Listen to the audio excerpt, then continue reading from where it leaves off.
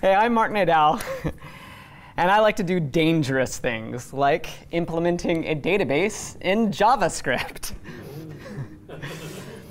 ah, otherwise known as Welcome to my talk on the last eight years of pain, misery, and suffering.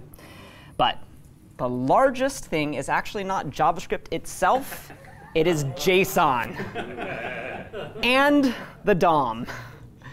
So as Jared's already shown, we can actually get JavaScript to go faster and faster and faster if you just start ignoring certain things that Douglas Crockford did. Sorry.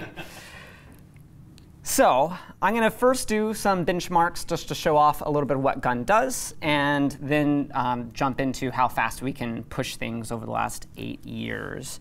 So the first example is just, well, what's um, a base app in Gun? So this is nine lines for a copy and paste app. Let me start up this over here. Switch hmm. and jump over here. So two tabs, gun will synchronize data between the two tabs. So it's like an open source version of Firebase with a lot of cool other features inside of it. Now, we're going to jump into what I call our panic tests, which is going to synchronize 100,000 chat messages between these two tabs. And we're going to see how fast it goes. Mocha test. Let me increase that um, panic chat JS. Panic's a really cool tool that we built. Um, it lets you do distributed load and correctness tests. Let me jump over to the right tab and then it's going to start. So it's generating 100,000 messages, and while I'm streaming 100,000 messages, I'm still able to click this button. That's really important. The UI still responds as it's syncing the data. So we just did 11,000, uh, 10,000, 10.9 thousand chat messages per second between these two browser tabs. This is on a MacBook Air from 2015. If you run this on an M1, um, if you actually want to run it yourself, all you have to do is npm install gun mocha and and um, cd node modules gun and and um, mocha test panic chat. And then you can test how fast it runs on your own computer. So on an M1, I've seen this go at about 67,000 chat messages per second. And we started a debate, right? is Rust going to make this any faster? So my colleague started implementing a Rust port of Gun. And even though his Rust port is not finished, so it's not completely protocol compatible, it's not spec compliant, um, it still, the JavaScript version runs about 97% the speed of the Rust version. So if you wind up, um, a little kind of note here is, is when I was running these tests before, on every single callback of an update that I got inside of Gun for a new chat message, I would just put that straight into the DOM. But because Gun was synchronizing at almost 11,000 chat messages per second, DOM couldn't handle getting that many um, UI updates in a single call. So I had to switch this benchmark to use request animation frame. And it's actually skipping over probably, uh, you can do the math, probably about um, 20 to 30 chat messages per second on that input box. So even in the process of testing this, I had this issue where like I was thinking Gun was going about 10 times slower than what it actually was going just because DOM was getting in the way. This is still running off of JSON, though. So how did I, how did I fix that? How did I get the UI to be responsive? Well, I went and I implemented um, a custom JSON parser um, in JavaScript called YSON, a yielding object notation. So you can go to um, gun slash lib slash yson.js. It's only about 250 lines of code. And I'm going to just go over a couple benchmarks I was doing as I was exploring how to get JSON to go faster and faster and faster to figure out um, what are some of the persnickety things that show up in JavaScript land. So I'm going to switch over to, um, it's kind of hard to see in my screen. This file here, which is just, I got a bunch of different types of JSON files that I then parse. And I do them with regular JSON, my YSON um, library, ISON, and JSON2 um, just to compare some performance. I can actually I shouldn't have closed that one. I'll have to pull it back up later. So the first thing I'm going to do is just running um, a very basic, uh, parsing a very basic um, JSON file. It's 601 bytes. It's pretty small. It's tiny. So when we run, but see now, now I'm really curious to do uh, with bun. node run. yep. In this case, it's just the parser. It took uh, JSON 0 seconds, um, YSON 1 millisecond, JSON 2, and ISON uh, 6 and 2. So at least compared to other non-native JSON implementations, um, my implementation is going a, a, bit faster. So now let's knock that up to a slightly um, larger file. This is uh, radix structure, which is deeply, deeply nested. And you'll see how that bites me in the butt later. Um, it's fairly large. I, I, mean, this is the scroll bar over here. So um, it's, it's quite a bit of data. Um, it was uh, radix, radix, where is it? It's about 2.5 megs. So let's parse that one. Oh, and then stringify, uh, you see that YSON is going the same speed as, as JSON for that small piece. So we're going to run it here. And you see that JSON is doing about 33 milliseconds. YSON is about uh, half the speed. 67 milliseconds. However, it's still doing better than um, ISON and some of the other parser um, libraries. If you know one that you'd like to throw into these benchmarks, I'd love to compare as well. Um, now let's step up to big.json. I believe that is 20 megs. Uh, let's big.json, yes, 20 megs. And it's not so happy with mine.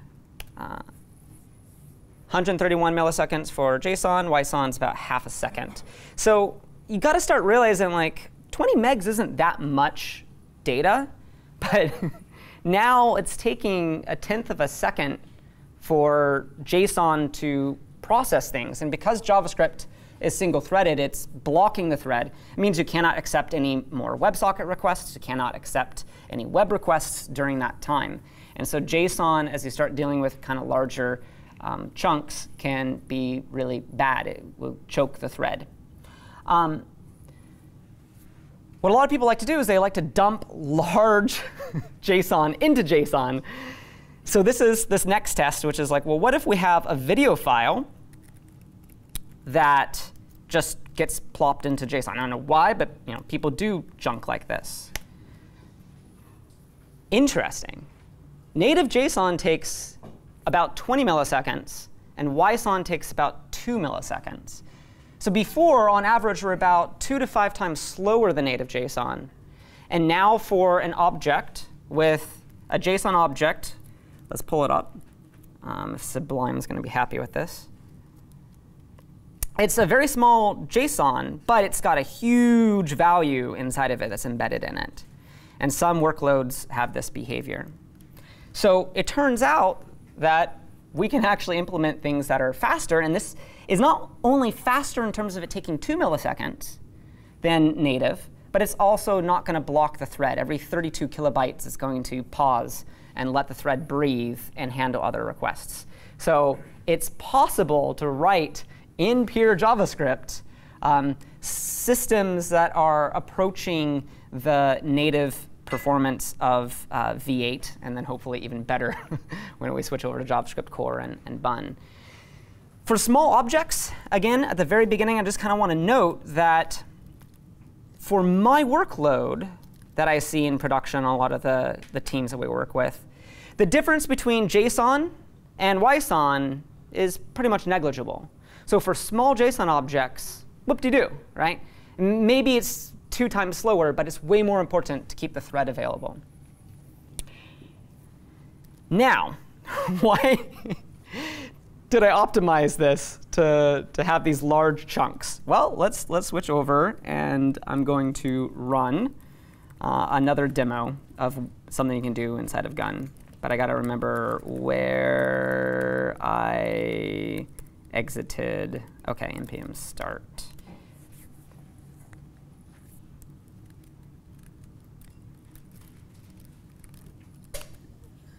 Let's hop over here. Oh, and, and note that the data persists, as, as a database should. Gun not only synchronizes data, but it also persists the data. So what if I want to start doing live streaming between browser tabs by saving it into Gun? so here I'm live streaming over Gun, and I, am super apologetic to um, the the Wi-Fi network here because I'm just literally blasting UDP packets nonstop into it, so I apologize. It's multicasting. And a fun thing here that I did is I can actually uh, live change the quality. So I can like go down and make it kind of blurry, or I can increase it. And this app, right, the, the, the app that was just doing the, um, the copy-paste synchronization is nine lines. Well, this one is 39 lines. Oh, actually, sorry, this is the wrong one.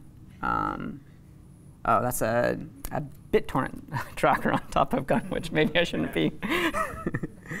um, stream. Hmm. It, it's somewhere on the GitHub. I'm going to show you. But it's, it's only about like 40 lines of code to implement uh, this video sync. OK. So I'm going to jump back to, so there's lots of different things you can do on top of Gun. Um, I'm just going to quickly show you. No, GitHub. no.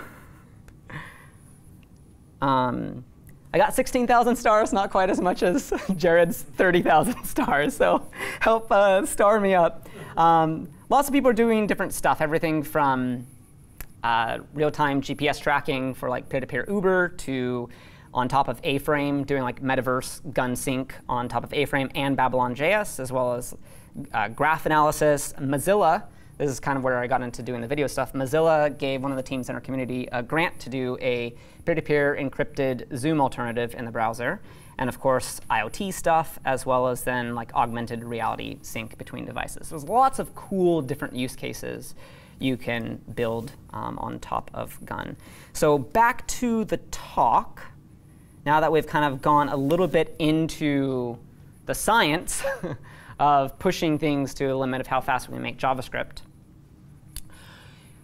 obviously Gun's more than just a custom JSON parser that is CPU scheduled. It's absurd that I had to write a CPU scheduler in JavaScript in order to make things go faster because JavaScript's single-threaded. But it turns out that um, parsing things over time lets that thread breathe, and it gives you better performance and a responsive UI that doesn't lock things up both in the browser as well as um, on any Node.js machine or, or Bun.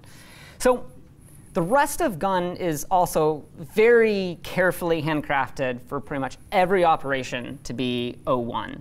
Um, if you're curious about including the conflict-free replicated data type that I implemented to do the deterministic data sync. I've done plenty of talks on this before, so if you're kind of curious about the computational complexity of things and how CRDTs work, I've done some cartoon explainers. Uh, just check my, my Twitter, and I'm happy to share those talks with you. So I want to focus on the other side of computational complexity, which is storage. So in computer science, time and space are a trade-off between each other. If we want to make things faster, we can pre-index things by using storage and caching stuff. And that will use up more storage space in order to save time space. And vice versa, if you don't have much storage space, you can chew through CPU to generate different views and stuff like that. So we've been helping the Internet Archive, which is the top 300 website in the world. They have about 40 petabytes worth of data to decentralize their data store on top of Gun. I'm going to jump into um, a demo that they have up on that, dweb.archive.org, for those who are curious that want to help out uh, libraries. So it works, it loads, it's there. And just to rag on some people, we see that um, WebTorrent is doing a great job of delivering on things. Gun is doing a great job on delivering on things. However, some very popular um, alternative systems are not doing so good of an engineering job of delivering on the archives data set. um, so I had the honor of talking to one of the engineers at the Wayback Machine, and turns out that they are using uh, a data structure called binary search, which I recently fell in love with for doing storage. And binary search relates to this thing earlier. um, I guess I don't, oh, I do have that up, where I was previously storing the data inside of Gun as this radix tree because radix trees have an O1 lookup relative to the total data set size. However, radix trees produce very deeply nested structures. And turns out V8 does not like to navigate up and down when serializing these things out to JSON. So I tested switching over to um, binary search to keep things as a flat heap and it is insanely fast. Um, and I'm going to do some benchmarks in just a second. But I first want to explain how binary search for the uninitiated works. You can think of it as being a book. Imagine there is a book that has all of the information in the entire universe inside of it, and it's organized as a dictionary. So generally speaking, if you're trying to find um, SF node, right, you're roughly going to open up to the middle of the book, and you might see, oh, well, came across Mark, and we know that Mark is a little bit earlier than SF node. So we're then going to turn to the right about halfway from the middle point to the end point, and oh, maybe we get too far and we go to T. And now we need to backtrack, and so we go to the halfway point in between. This is a um, O log n operation. And so it should be slower than the radix tree, which is O1. However, if we take this data, um, and I should probably actually start having it generate it. Uh, unfortunately, I can't show you against the whole 40 petabytes. I'm going to try and scale it down to something that we can fit in memory in a browser to benchmark how um, nicely binary search works. So I believe it is this file right here. Um, so this is the binary search function that I implemented right here, um, and then just a randomness. And I'm going to generate an array of 10 million randomly generated words and then sort them because that's necessary for binary search to work. I'm going to hit refresh and start this up. Uh, it's going to take a little bit just to, to generate the list. But typically, this is actually the data that's already stored on a system, and then you wind up just using binary search to find or retrieve the data. So once it's generated, um, we're then just going to randomly sample for about 100 uh, random keys in the table, and we're going to print them out. And we're going to see how fast that goes. 10 million records inside of the browser. Mm, my computer's, there we go. OK. So once the list is there, the binary search is almost free for finding any one record in the entire 10 million records in JavaScript Okay? It's only taking about 0.02 milliseconds. 0.01 milliseconds. I wonder how much faster this would be with Bun. So for 10 million records, okay? And each record could itself be a page of like 4 kilobytes or 16 kilobytes. It doesn't really matter what the, the byte size. We can find the data very, very quickly. 10 million records, and we can find it in about 0.02 two milliseconds. That's, that's encouraging. I, I actually had my friends with uh, M1 laptops, since I still have a MacBook Air. That's 2015, and it's doing 10 million records, finding any random one in 0.02 milliseconds, run on their machines. And it turns out that even on the M1, we saw significant performance improvements on the data sync between two different browser tabs, the about 10,000 chat messages per second I showed you earlier, up to about uh, 70, 60 or 70,000 chat messages per second. The binary search didn't really run any faster on M1. It was also running at about 0.01 milliseconds. So it seems like as long as you have a heap in JavaScript that you're looking against, um, uh, whether it be JavaScript core or even V8, you can do some uh, really, really nice optimizations. Oh, I actually forgot. Back in the JSON parser, um, there was a fYSON. Um, and fYSON, this is just a random nugget, sorry to, to jump back.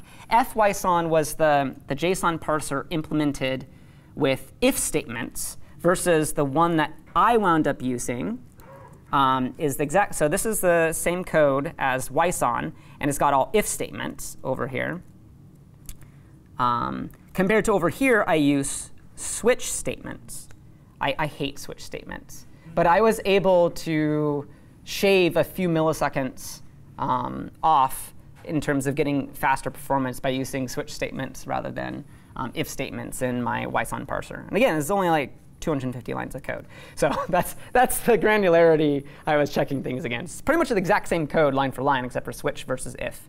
Um, so sorry, back to the binary search. Yeah, we didn't really wind up seeing um, much uh, performance difference even on an M1 um, versus my laptop for, for binary search. So binary search is a really, really nice algorithm um, because it lets does JavaScript engine optimize against a heap? And what's really exciting is it turns out that Internet Archive uses binary search for, their, for the Wayback Machine. So for their 40 petabytes worth of data, they have a top level index, which is I think about 60 gigabyte file that does binary search at the top level, and then I think it's multiple layers deep. So um, what has me really excited is, is looking at the storage complexity, the, the storage constraint side of the equation, versus the compute um, or processing side of the equation, is partly because I'm trying to figure out how can I go even faster than the 65,000 ops per second. And I realize the trick is if we have pages that we can memory swap between machines, then we can actually eliminate having to do all of the packet handling and message sending and serialization steps that happens in the regular uh, JavaScript world. Because now we're just going to be swapping UTF-8, UTF-16 um, files between machines and using a data structure that I call book for binary search. Um, that is a parseless data structure. So of a particular page, the one I've found that I'm going to be using is 4 kilobytes. Um, if there's only one particular property in that 4 kilobyte record set, then we actually don't have to parse any of the other data like JSON does. If you, if you want to get one record in JSON, you have to parse the whole thing.